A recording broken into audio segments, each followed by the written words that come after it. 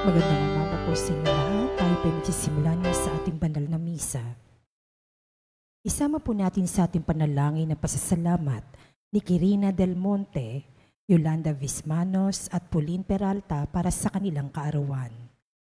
Pasasalamat ila Katrina Elpa, Lourdes Elpa, Erika Takiuchi, Florida Tabian, Wilma Domingo, Vanji Villanueva and family, Bong and Helen Adun and family, Bobby Castillo, Attorney Jeffrey Coronado, Carol Coronado, Martinez family, Lydia Kaskasan and family, at Princess Baclayo. Panalangin para sa agarang pagaling nila Edward Namit, Jasmine Sibeldia Lim, Amalia Henyoso, Efren Alcober, Desiree Aranas, Larilyn Ponteñeles, Maricel Mariano, Raquel Ragudo, Samantha Julia Berakit, Roseni Correa, Rowena Vergara, Evangeline Lacap, Sharina Harley D., Zenaida Arce, Chairman Violeta De Sena, Eric John Rehuso, Alma Macario, Rafaelito Francisco, Carl Mangundayaw, Stephanie Chelsea Carion, Sharon Co, Gertrudes Machuca, Estrella Gomez, Melencia Mande, Emmanuel Diaz, Chelsea Corsino, Joel Madarang, Enrique Alfaro, Angeline Mendoza, Renato Uy, Sofia K. Elpa, Jacob Villanueva, Ismael Cordon, Ofelia Monleon, Zenaya Sagon, Rebecca Hesup, Angel May Bugayong, Lina C., Robin Joy Cantos, Box Lauron, Freddy Nadres, Lolita Tejario, Emilia Bildran, Bildan, at Renato Bulanadi. Panalangin para sa natatanging kahilingan nila Lu Alcover, Stephen Kurt Robles, Carlito and Aura Madayag and family, Cherry Manzano, Hernando Quaterno, Arcilia family, Lydia Kaskasan, Patrick Escota, Doktora Felisa Casamayor, Mary Grace Manalili, Gillette Yopanco, Cristina Martinez, Nina and Miko Martinez, Nico Martinez, Hazel Uy, Baby Faye Martinez, Nikki and Cha Martinez, Aherico Texon, Vanji Villanueva and family. Panalangin para sa mga kaluluwa nila Dario, Dorotea, Father Odon de Castro, Monsignor Albert Venus, Alicia, Father Angelino de Feo Jr., Monsignor Norberto Habos, Marlon, Luisa, Elizabeth, Gestoni, Mary Ann, Arnel Balse, Esther, Ernesto, Rochelle Cabanayan Morales, Reynaldo, Chris Enrico, Clarita, Catherine, Renato, Dorico, Reggie Melo, Mary Jane, Sheila Ann, Amelia, Amelia, Solita and Hector, Jesus, Caridad Flor, Marites Calara, Mirna Mendaño, Jose Noli Colinares, Luisa Bersaba, Cirilo, Lucina, Lucina Briones, Rosita Albano, Hector Carangan, Florentina Agulto, Domingo Go, Jaime Coronado, Benjamina Agulto, Rosauro Santos, Domingo Elpa Sr., Lourdes Coronado Elpa, Angelina Pineda, Dr. Julianito and Lorna Mercado, Teresa Navarra, Sergio, Rose, Jaime Agulto, Jesus Jr., Reynaldo Cascasan, Basilia, Loriano, Manuel and Angeles, Marciana and Nicolas, Marta and Lazaro, at Christian Vargas. Isama rin po natin sa ating panalangin ng kaluluwa ni Pope Emeritus Benedict XVI. At panalangin para sa lahat ng kaluluwa, alay ni Zeni Baricanosa, Venus Moransil at Princess Baclayo. Magsitayo po ang lahat para sa orasyon.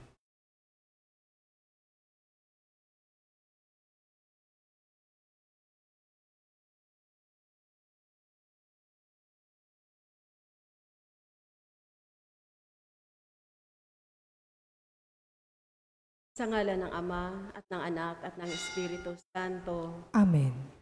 Ang anghel ng Panginoon ay Balita kay Santa Maria, at siya'y naglihila lang ng Espiritu Santo. Aba, Ginoong Maria, napupuno ka ng grasya. Ang Panginoong Diyos ay sumasa iyo. Bukod kang pinagpala sa babaing lahat, at pinagpala naman ang iyong anak na si Jesus. Santa Maria, Ina ng Diyos, ipanalangin mo kaming makasalanan, ngayon at kung kami mamamatay. Amen. Narito ang alipin ng Panginoon. Maganap nawa sa akin ang ayon sa wika mo. Aba, Ginoong Maria, napupuno ka ng grasya. Ang Panginoong Diyos ay sumasa iyo. Bukod kang pinagpala sa babaing lahat, at pinagpala naman ang iyong anak na si Jesus. Santa Maria, Ina ng Diyos, ipanalangin mo kaming makasalanan, ngayon at kung kami mamamatay. Amen. At ang salita ay nagkatawang tao. At nakipamuhay sa atin. Aba, Ginoong Maria, napupuno ka ng grasya. Ang Panginoong Diyos ay sumasay. Bukod kang pinagpala sa babaing lahat, at pinagpala naman ang iyong anak na si Jesus. Santa Maria, Ina ng Diyos, ipanalangin mo kaming makasalanan, ngayon at kung kami mamamatay. Amen. Ipanalangin mo kami, O Santa na Ina ng Diyos, Nang kami maging dapat makinabang sa mga pangako ni Kristo. manalangin tayo. Panginoon naming Diyos, kasihan mo nawa ang aming mga kaluluwa sa iyong mahal na grasya at yamang dahilan sa pamamalita ng anghel ay nakilala namin ang pagkakatawang tao ni Yeso Kristong anak mo, pakundangan sa mahal na pasakit at pagkamatay niya sa krus. Papakinabangan mo kami ng kanyang pagkabuhay na mangmuli sa kadakilaan sa langit sa pamamagitan ni Yeso Kristong aming Panginoon. Amen. Luwalhati sa Ama at sa Anak at sa Espiritu Santo. Kapara nung sa unang-unang, ngayon at magpakailanman, magpasawalang hanggan. Amen. Sa ngala ng Ama at ng Anak at ng Espiritu Santo. Amen. Magandang umaga po.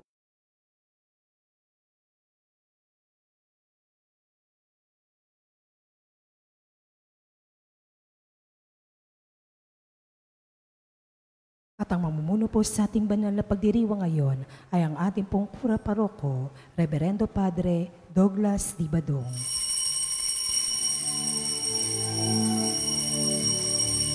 Purihin ng Panginoon, umawit ng kagalakan, at tugtugin ang gitara, at ang kaya ay ang lira. Ipan ninyo ang trumpeta, kaya Pangino'y dinggin, ang landas niya'y tahakin Habang buhay ay purihin Kagandahang loob niya sa atin Purihin ang Panginoon Umawit ng kagalakan At tugtugin ang gitara At ang kaya ay ang lira. Ipan ninyo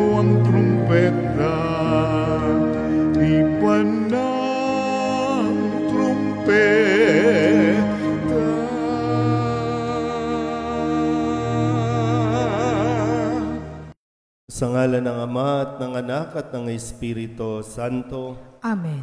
ang pagpapala ng ating Panginoong Heso Kristo, ang pag-ibig ng Diyos Ama, at ang pakikipagkaisa ng Espiritu Santo naway sumainyong lahat. At sumaiyo rin. Mga kabatid, tinipon tayo bilang mga kaanib na angkan ng Diyos, kaya dumulog tayo sa maawaing Panginoong nagpapatawad ng lubos. Sinugong tagapagpagaling sa mga nagsisisi, Panginoon, kaawaan mo kami. Panginoon, kaawaan mo kami. Dumating na tagapag-anyayang mga makasalanay magsisi, Kristo, kaawaan mo kami. Kristo, kaawaan mo kami. Nakaluklok ka sa kanan ng Diyos Ama para ipamagitan kami. Panginoon, kaawaan mo kami. Panginoon, kaawaan mo kami. Kawaan tayo ng makapangyarihang Diyos, patawarin tayo sa ating mga kasalanan at patnubayan tayo sa buhay na walang hanggan. Amen. Manalangin tayo. Ama naming makapangyarihan, itaguyod mo ang aming ginagampanan, alinsunod sa iyong kalooban, upang sa ngalan ng anak mong mahal, kami maging marapat magkaroon ng karagdagan sa aming paggawa ng mga kabutihan sa pamamagitan ni Yesu Kristo, kasama ng Espiritu Santo, magpasawalang hanggan. Amen. Magsiupo po lahat.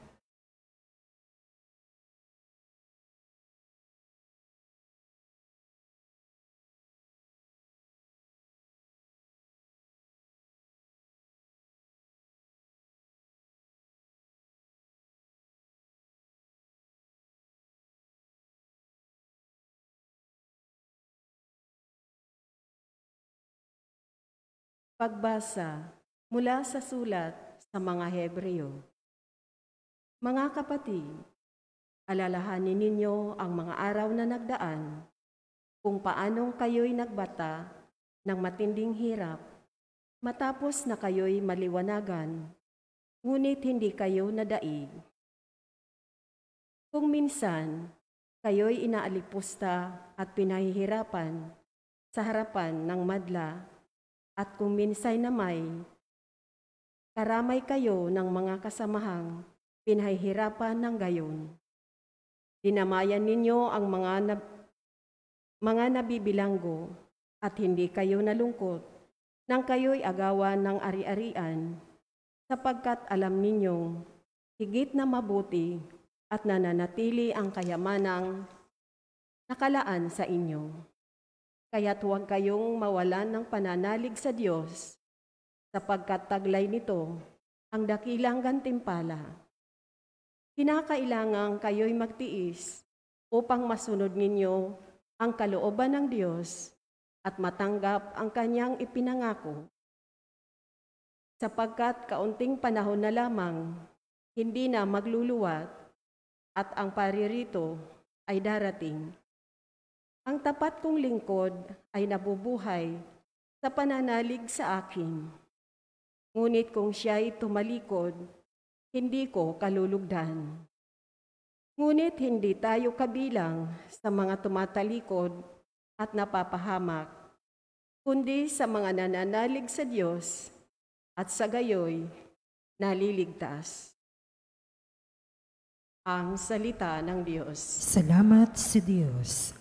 Salmon tugunan ang ating pong itutugon. Nasa Diyos ang kaligtasan ng mga matuwid at banal. Ulitin po natin. Nasa Diyos ang kaligtasan ng mga matuwid at banal.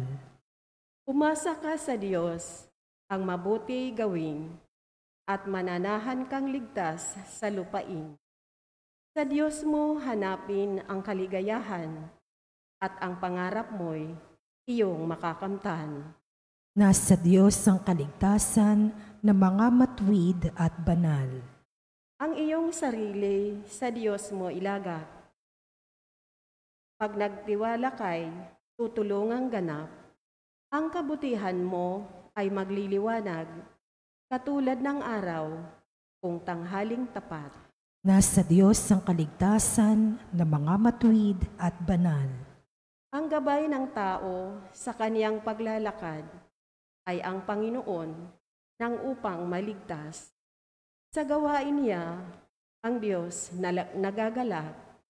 Kahit na mabuwal, siya ay babangon, pagkat ang alalay niya'y Panginoon. Nasa Diyos ang kaligtasan ng mga matuwid at banal. Ililigtas ng Diyos ang mga matuwid. Iingatan sila pag naliligalig. Ililigtas sila't kanyang tutulungan laban sa masama, ipagsasanggalang, sapagkat sa puon, nangungubling tunay. Nasa Diyos ang kaligtasan ng mga matuwid at banal. Magsitayo po lahat. Hallelujah.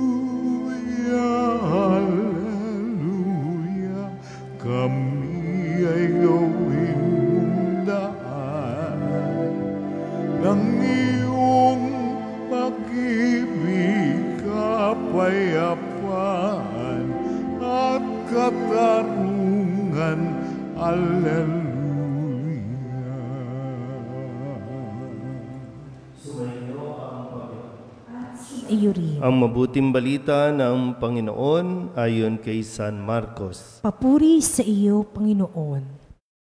Noong panahong iyon, sinabi ni Jesus sa mga tao, Ang paghahari ng Diyos ay maitutulad sa isang naghahasik ng binhi sa kanyang bukid. Pagkatapos niyon, magpapatuloy siya sa kanyang pang-araw-araw na gawain. Tutubo at lalago ang binhi nang hindi niya nalalaman kung paano. Ang lupay siyang nagpapasibol at nagpapabunga sa mga pananim. Usbong muna, sa kauhay, na pagkatapos ay mahihitik sa mga butil.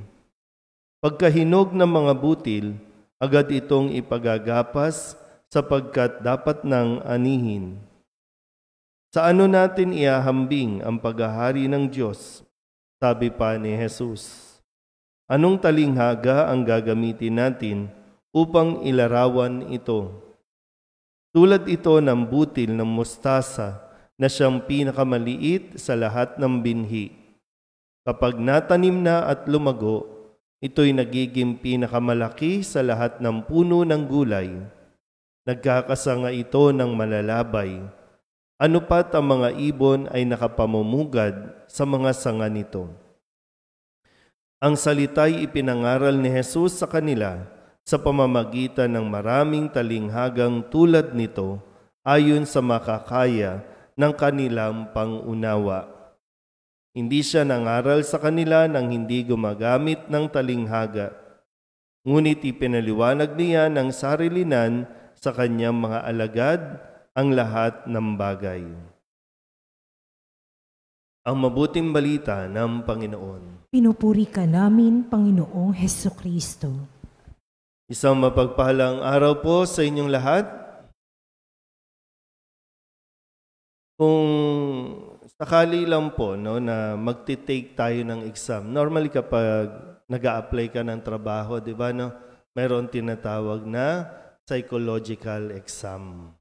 Minsan, uh, wag nating isipin na kaya hindi tayo natanggap sa trabaho ay dahil mahina utak natin o kaya wala tayong alam, no? Kasi 'di ba 'yun yung una, no? Entrance exam, no? 'Yun yung para sa kasi gusto mong patunayan yung sarili mo, pero nagkakaroon ng result na ay hindi ka fit para sa kumpanya, hindi ka fit para sa ganitong eskwelahan, hindi ka fit para... Pero hindi ibig sabihin na hindi ka magaling o kaya hindi ka...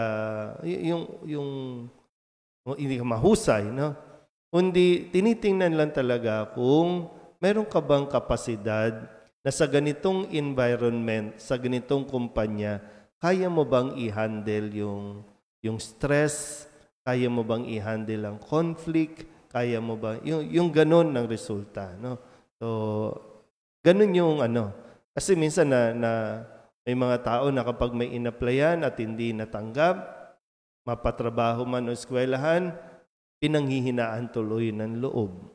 Para bang bumababa yung, yung self-esteem nila. Kasi ay, hindi ako tinanggap kasi bobo ako, kasi ganito. Kasi no, kung Titinan natin dito sa ating ebanghelyo, para bang sinasabi na ibinibigay ni Kristo, ipinapaunawa niya ang kanyang pinapaliwanag no, tungkol sa paghahari ng Diyos, tungkol sa mabuting balita. Sabi dito, ayon sa makakaya ng kanilang pangunawa. Ayon sa kanilang pag-iisip. Kasi mahirap i, i, igiit sa utak natin yung mga bagay na hindi abot ng utak natin. Kaya ngayon, halimbawa lang po, no? kung mag exam ba tayo ngayon, malalaman kung anong percent ba ng kaya ng utak natin, anong utak mayroon tayo. Pagdating sa pag-intindi, pagdating sa pag-unawa, pagdating sa pagtingin sa buhay. Eh, minsan magtataka po tayo, no? Bakit ganun? Pag nabibigyan tayo ng, bakit ganun? Araw-araw naman siya nagsisimba, pero bakit ganun ang ugali niya? Bakit parang walang natututunan? Araw-araw naman tayo nagro-rosary. Araw-araw naman tayong nagmatanggap ng komunyon. Bakit parang walang nagbabago? Sige, bawat isa may kanya-kanyang facing, may kanya-kanyang kakayahan. Minsan nga, isang oras lang nagsimba. Okay na, malinaw na sa kanya eh. Alam niya na kung anong gagawin niya. Meron naman, 50 years lang nagsisimba, hindi pa rin makaintindi. Pero lahat tayo ay pinagpapasensyahan at lalo tigit napakahaba ng, ng pagtsatsaga ni Kristo para tayo turuan hanggang sa tayo po ay matuto. Pero kailangan din natin tingnan no, yung ating mga sarili kasi 'di ba kailangan ini-improve din natin yung ating pakikinig, ini-improve din natin yung ating yung pangunawa, in, lahat 'to, no? Kasi kung tayo mismo magsasara, no? Isasara natin ang ating yung kaisipan, minsan pag sinasabi, pag tinuturuan yung marami sa atin, hindi na. Alam na namin ang gagawin namin. Matanda na kami. Alam na namin yan. Mga ganong linyahan, no? Pag mga bata, ipipilit nila na okay na kami, matanda na kami, alam ko na ang gagawin ko. Pagdating naman na matatanda, wag mo ko pagsasabihan, alam ko na kung anong gagawin ko. Alam na nga ba natin? Yan gusto pa naman natin, lalo na sa panahon natin ngayon, yung gusto natin nangyayari agad ang gusto nating mangyari. Agad-agad. Instant. Mawala na yung, yung pagtitiis, nawawala na yung pagtsatsaga na kung meron kang gustong makamit, may gusto kang makuha, pagtsagaan mo.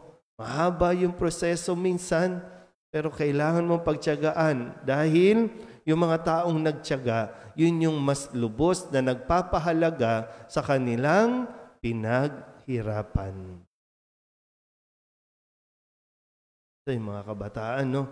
yung hingi lang ng hingi. Kasi agad-agad gusto nilang makuha, mabili kung ano ang gusto nilang gawin. Hindi pinagpapaguran, hindi pinaghihirapan. Until lang yung kapag ikaw na yung nagtatrabaho at alam mo na yung paggagastos, doon ka lang natututong mag, mag, magtipid, doon ka lang natututong magkaroon ng uh, pagbibigay ng value o pagpapahalaga na kailangan ko ba talaga ito? Ano? Ngayon, ano ba tayo? Nasaan na tayo ng level pagdating sa pagtitiis, pagtsatsaga? Mabilis bang maubos ang pasensya? o sadyang matigas talaga ulo natin, tayo nating makinig. Next week, no? O mag exam muna tayo bago magmisa, ha? Para ito, level 1, level 2, level 3. Alam na, na alam na natin kung ah ito okay lang yan kahit di makinig yan kasi ano pa eh, wala talaga eh.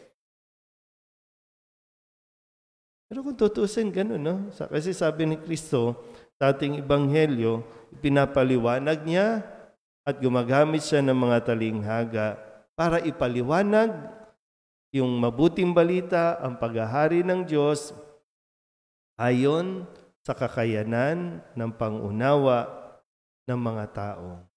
Ganun, no? Ganun katyaga ang Panginoon sa bawat isa sa atin. Amen?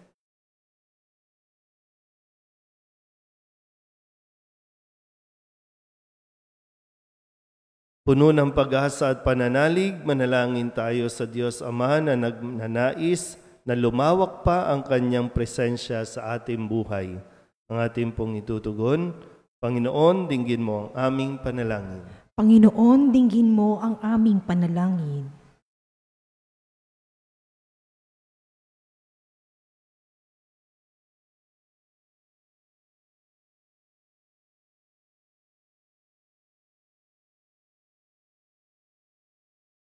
Ang ating simbahan naway patuloy na umunlad at maging simbolo ng katarungan, pag-ibig at katotohanan sa daigdig. Manalangin tayo sa Panginoon. Panginoon, dinggin mo ang aming panalangin.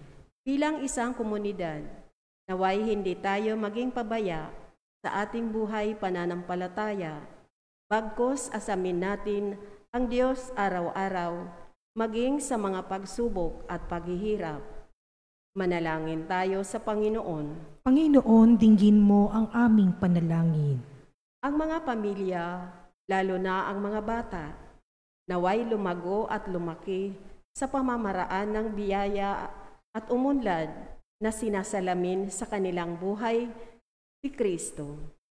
Manalangin tayo sa Panginoon. Panginoon, dinggin mo ang aming panalangin. Ang mga may sakit, naway lumakas sa pananampalataya sa pamamagitan ng kanilang pagbabahagi kay Kristo ng kanilang mga pagtitiis. Manalangin tayo sa Panginoon. Panginoon, dinggin mo ang aming panalangin. Ang ating mga mahal na yumao, naway anihin nila ang bunga ng kapayapaan, kaligayahan at katahimikan sa kaharian ng Diyos. Manalangin tayo sa Panginoon. Panginoon, dinggin mo ang aming panalangin. Idulog din natin sa Panginoon ang ating mga personal na kahilingan at mga panalangin para sa ating mga pamilya. Kasama ang lahat ng kahilingan ng mga nanonood sa online, lahat ng misang pasasalamat, natatanging kahilingan para sa mga may sakit, at lahat ng kaluluwa na inihiling na ipagdasal sa misang ito.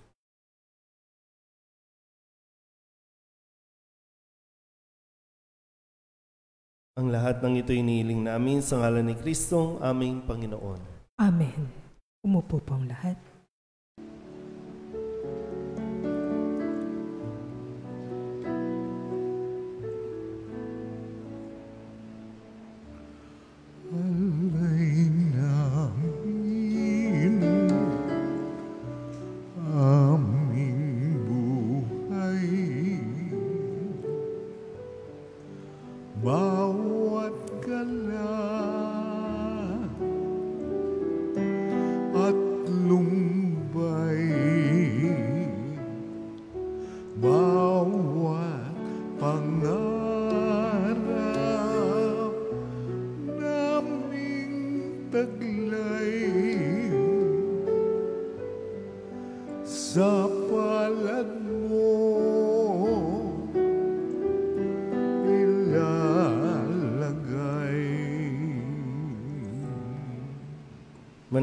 Manalangin kayo mga kapatid upang paghahain natin ni kalugdan ng Diyos sa mga makapangyarihan. Tanggapin nawa ng Panginoon itong paghahain sa iyong mga kamay, sa kapurihan niya at karangalan, sa ating kapakinabangan at sa buong sambayanan niyang banal. Ama naming lumikha, tanggapin mong malugod ang aming mga handog ngayong ang kabanalan ay iyong dulot. Kami sumasamo sa iyo't lumuluhog upang kaligtas ay iyong ipagkaloob sa pamamagitan ni Yesu Kristo kasama ng Espiritu Santo magpasawalang hanggan. Amen. Sumainyo ang Panginoon. At sumaiyo rin, Itaas sa Diyos ang inyong puso at diwa. itinaas na namin sa Panginoon. Pasalamatan natin ang Panginoong ating Diyos. Marapat na siya ay pasalamatan. Ama naming makapangyarihan, tunay ngang marapat na ikaw ay aming pasalamatan. Sa iyong kagandahang loob, kami iyong ibinukod upang iyong maitampok sa kadakilaan mong lubos, kahit na ikaw ay aming tinalikdan dahil sa aming pagkasalawahan. Gumawa ka pa rin ng magandang paraang may manguna sa amin para ikaw ay balikan. Kaya't ang iyong minamahal na anak ay naging isa sa mga taong hamak upang may kapwa kaming makapagligtas sa aming pagkapahamak at pagkaligaw ng landas. Kaya kaysa ng mga anghel na nagsisiawit ng papuri sa iyo nang walang humpay sa kalangitan, kami nagbubunyi sa iyong kadakilaan. Santo, Santo, Santo, Panginoong Diyos na makapangyarihan, napupuno ang langit at lupa ng kalwalhatian mo. Hosana sa kaitaasan, kaligtasan. Pinagpala ang naparirito sa ngalan ng Panginoon. O sana sa kaitaasan. Ama naming banal, ikaw ang bukal ng tanang kabanalan. Kaya't sa pamamagitan ng iyong Espiritu, gawin mong banal ang kaloob na ito upang para sa aming maging katawan at dugo ng aming Panginoong Heso Kristo. Bago niya pinigtis ang kusang loob na maging handog, inawakan niya ang tinapay, inasalamatan kaniya, pinaghati-hati ni iyon, iniabot sa kanyang mga alagad at sinabi, Tanggapin ninyong lahat ito at kanin, ito ang aking katawan na ihahandog para sa inyo.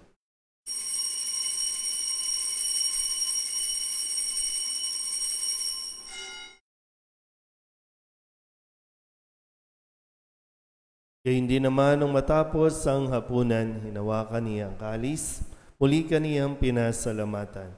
Iniabot niya ang kalis sa kanyang mga alagad at sinabi, Tanggapin ninyong lahat ito at inumin. Ito ang kalis ng aking dugo ng bago at walang hanggang tipan. Ang aking dugo na ibubuhos para sa inyo at para sa lahat sa ikapagpapatawad ng mga kasalanan. Gawin ninyo ito sa pag-alaala sa akin.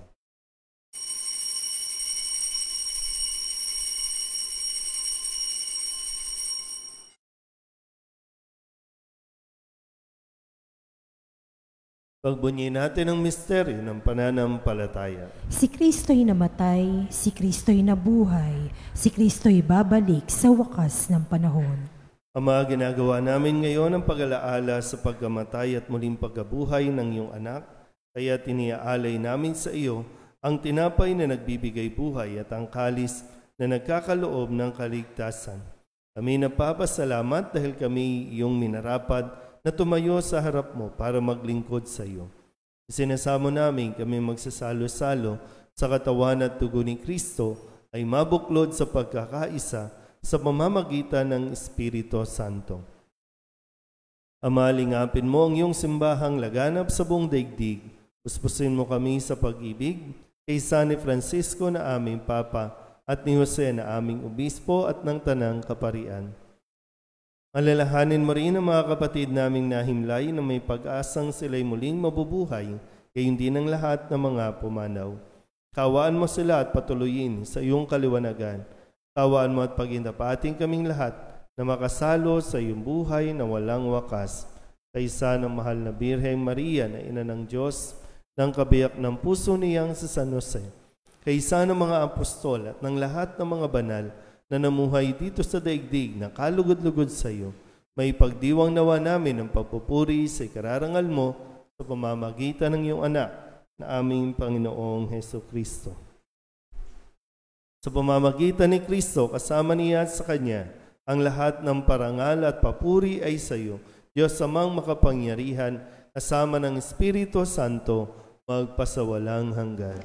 Amen.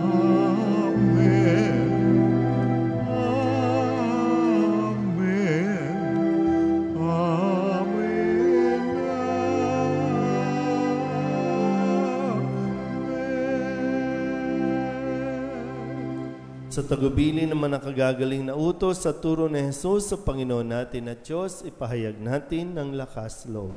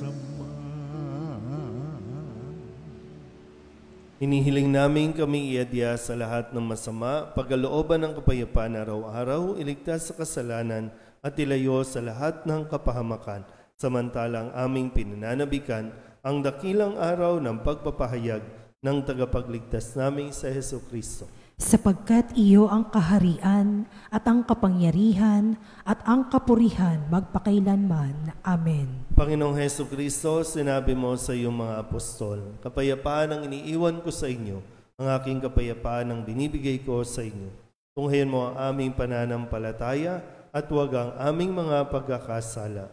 Pagkalooban mo kami na kapayapaan at pagkakaisa ayon sa iyong kalooban, kasama ng Espiritu Santo, magpasawalang hanggan. Amen. Ang kapayapaan ng Panginoon ay laging sumainyo. At sumaiyo rin. Magbigayan po tayo ng kapayapaan sa isa't isa.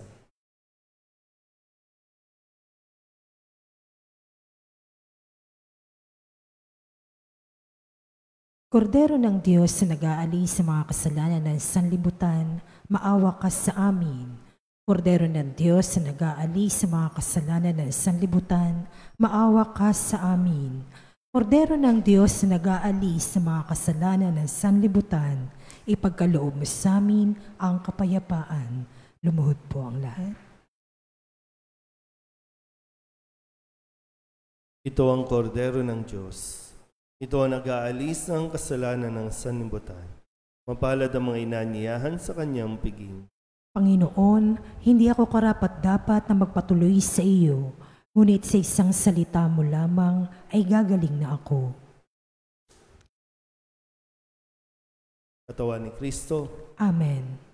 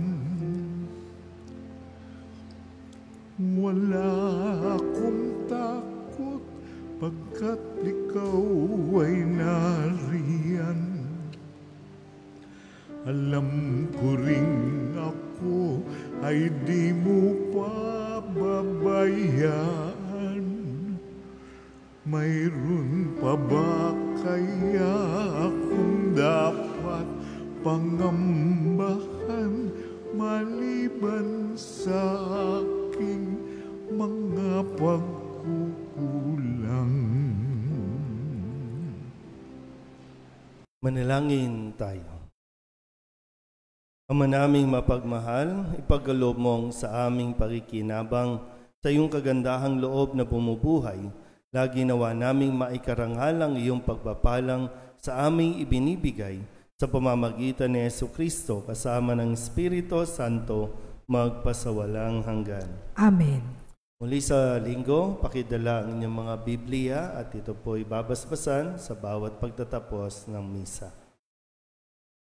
Sumainyo ang Panginoon At sumaiyo rin. at pagpalain kayo ng makapangyarihang Diyos, Ama at Anak at Espiritu Santo. Amen. Tapos sa banal na misa, umayo tayo sa kapayapaan ni Kristo. Salamat sa Diyos. Magandang umaga po. Good morning po, Father. Humayo